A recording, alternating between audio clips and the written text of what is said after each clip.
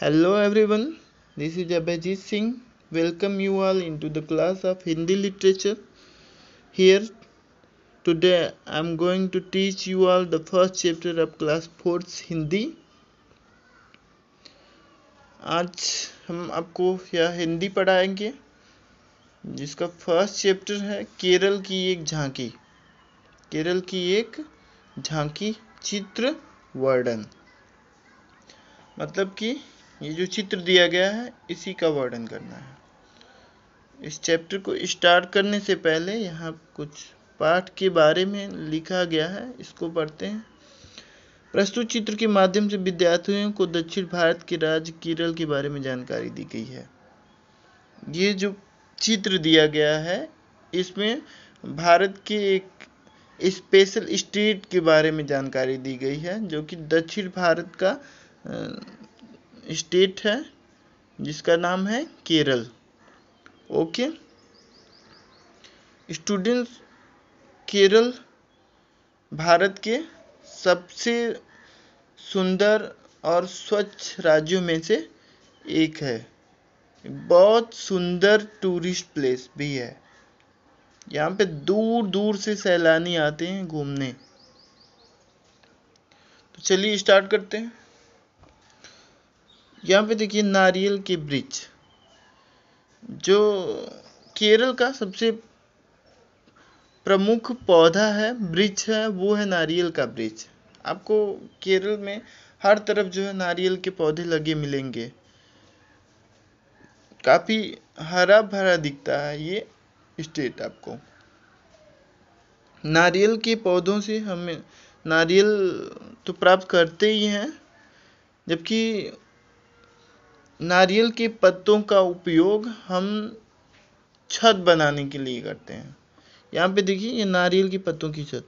ये जो छप्पर दिख रहा है आपको, नारियल के पत्तों से बना हुआ है। ओके तो इसलिए नारियल का पौधा यहाँ पे बहुत ज़्यादा इम्पोर्टेंट है।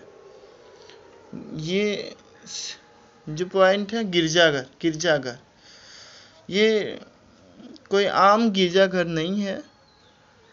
जो भारत का सबसे पुराना और सबसे पहला गिरजाघर था, बना, वो केरल में ही बना था। इसका नाम था सेंट फ्रांसिस्को। यानी कि सेंट फ्रांसिस्को गिरजाघर जो है, केरल में है, जो कि पंद्रह सौ ए डी समथिंग, पंद्रह सौ ईस्वी में बना था। सेंट फ्रांसिस्को सेंट फ्रांसिस्को गिरजाघर जो कि यहाँ पे ऐसा माना जाता है कि वास्को डिगामा को यहाँ पे दफनाया गया था इसी चर्च में। अब आते हैं यहाँ पे। नाव स्टूडेंट्स,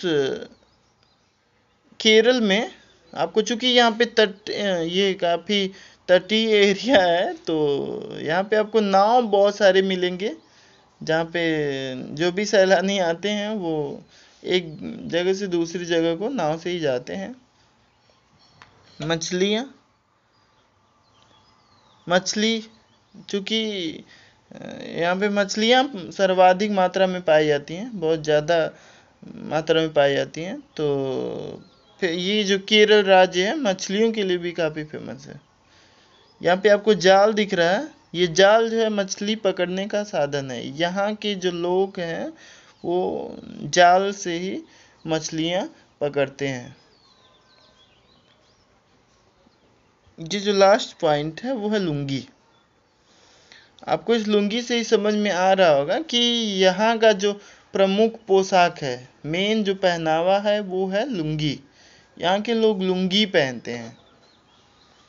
ओके थैंक यू